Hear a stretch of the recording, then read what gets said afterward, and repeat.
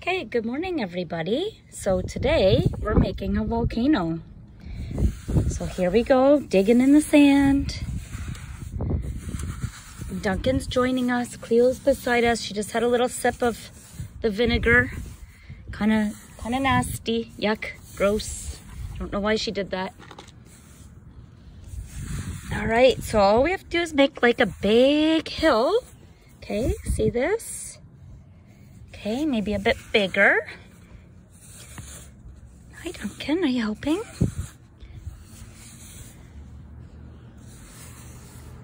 And then, after we make our big hill, we put a little hole in it because volcanoes sort of have, I think volcanoes are all a little bit shaped differently. They're not all exactly the same, but they have some kind of a hole in them. There we go. So we'll make a little hole.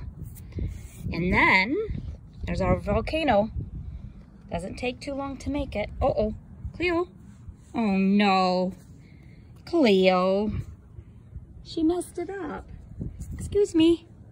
Excuse me, please. Okay, now let's make it again. Excuse me.